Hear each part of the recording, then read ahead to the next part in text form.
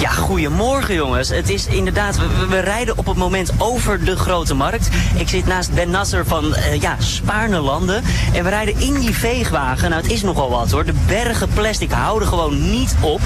En uh, ja, Ben, ben Nasser, je doet dit elke ochtend. Is het niet moeilijk? Door al, al die mensenmenigte en dergelijke, maken ze je het werk niet lastig?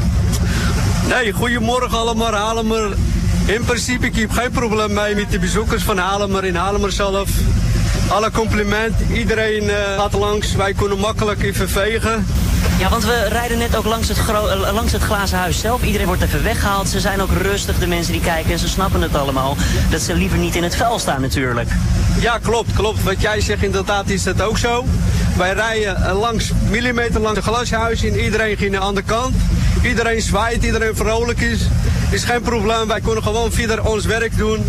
Elke ochtend vanaf uh, vrijdag.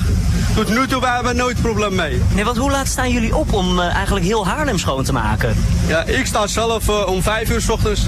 Alles klaar voor Spaarlanden, voor, voor gemeente Haarlem ook. Om schoon stad te houden.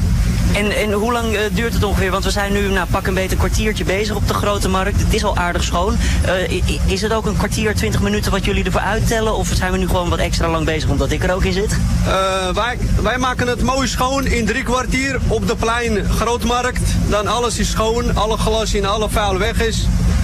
En da daarna gaan wij binnenstad in, vanaf station tot Houtplein, tot Spaarne, tot de Raaks eigenlijk gewoon de hele stad doen jullie. Uh, nou, echt helden zijn jullie jongens. Want uh, ja, diep respect dat jullie de stad zo mooi schoonhouden.